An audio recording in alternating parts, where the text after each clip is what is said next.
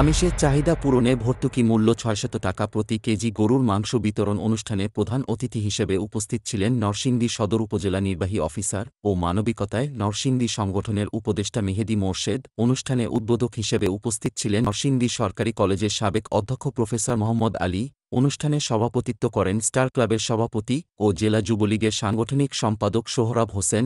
অনুষ্ঠানে সার্বিক সহযোগিতায় ছিলেন নরসিংদী পৌরসভার এক দুই তিন নং ওয়ার্ড মহিলা কাউন্সিলর রুমানা ফেরদৌস সোনিয়া। এমনই দেশ বিদেশের তথ্যবহ সংবাদ নিয়মিত পেতে বেঙ্গল টিভির ইউটিউব চ্যানেলটি সাবস্ক্রাইব করুন ও ফেসবুক পেজটি ফলো করুন।